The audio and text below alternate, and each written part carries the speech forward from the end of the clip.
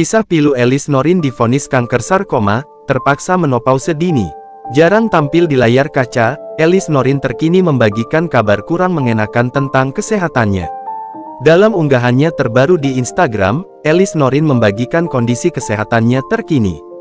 Wanita kelahiran 1987 ini mengaku dirinya mengidap kanker sarkoma.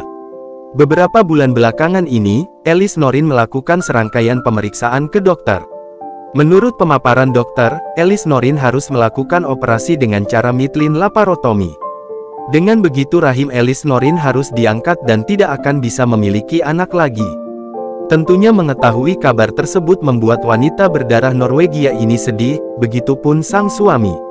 Adapun penyakit yang dideritanya ini bermula pada Agustus tahun 2023, awalnya ia merasakan nyeri. Kemudian tanggal 16 Desember tahun 2023 tersebut, Elis Norin kembali merasakan nyeri yang lebih parah hingga akhirnya ia memutuskan untuk melakukan operasi tersebut. Postingan tersebut pun langsung dibanjiri dukungan dari warganet hingga rekan artis.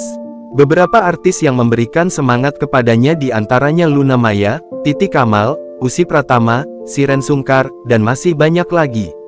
Berdasarkan penelusuran tribunsumsel.com, sarkoma adalah jenis kanker yang berasal dari jaringan ikat tubuh. Kanker ini merupakan jaringan ikat meliputi tulang, otot, lemak, pembuluh darah, saraf, dan sebagainya.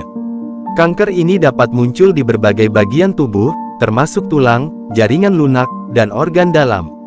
Ada lebih dari 100 jenis sarkoma yang berbeda, dan gejalanya dapat bervariasi tergantung pada lokasi dan jenis tumor.